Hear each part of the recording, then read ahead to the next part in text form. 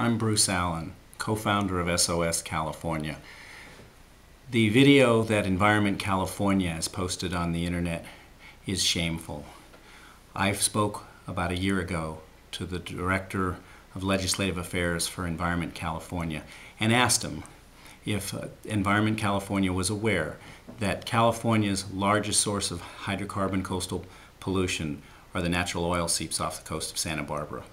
I've been a 25 year resident of Santa Barbara, and Santa Barbara residents are well aware that the largest source of ocean pollution in our area are the natural oil seeps. Uh, the legislative director said he was unaware of this issue, and also he was unaware of the studies that showed that the existing offshore oil and gas production has actually been drying up the natural seeps.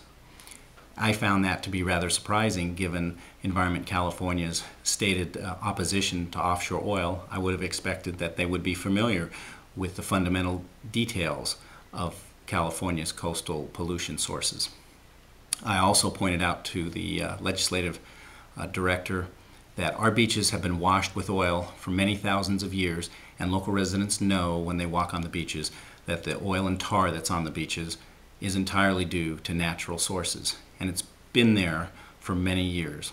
Also, uh, longtime residents know that uh, over 50 years ago, the beaches were much more heavily oiled and tarred than they are now. And we now know through research from the University of California that the reason our beaches are cleaner is due solely to offshore oil and gas extraction reducing the natural oil and gas pollution.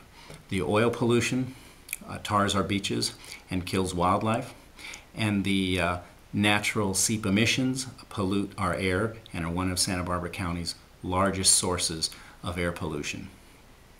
So we think it's important that California residents understand what the real issues are involved with offshore oil and gas production.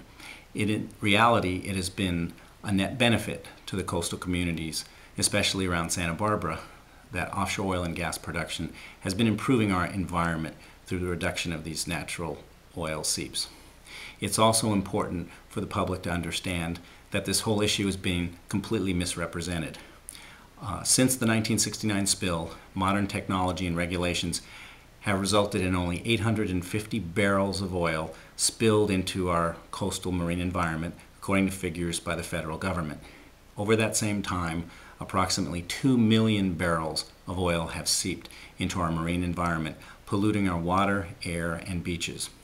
Over that time period, about 19,000 birds have died, conservatively estimated, from natural oil seepage, whereas only about 5,000 birds total over the life of California's offshore oil and gas production have died as a result of the spills.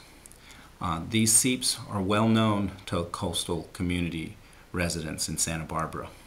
Many of them are still unaware that it's all natural and some of the local environmental groups have actually uh, suggested and encouraged the belief that a lot of this oil is due to offshore oil and gas production.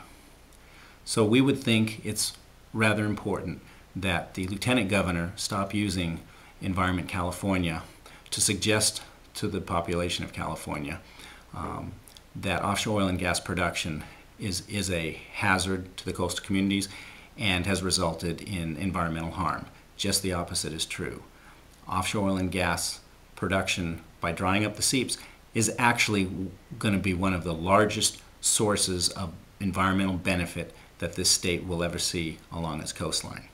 And these oil and gas seepage reductions will be permanent so that generations for thousands of years into the future will benefit from the fact that during our lifetime these oil and gas production facilities uh, have been producing oil, which is important for California's economy, producing revenue, which is important to residents for social services, education, and taxes, and has also resulted in environmental benefits through the reduction of these natural seeps.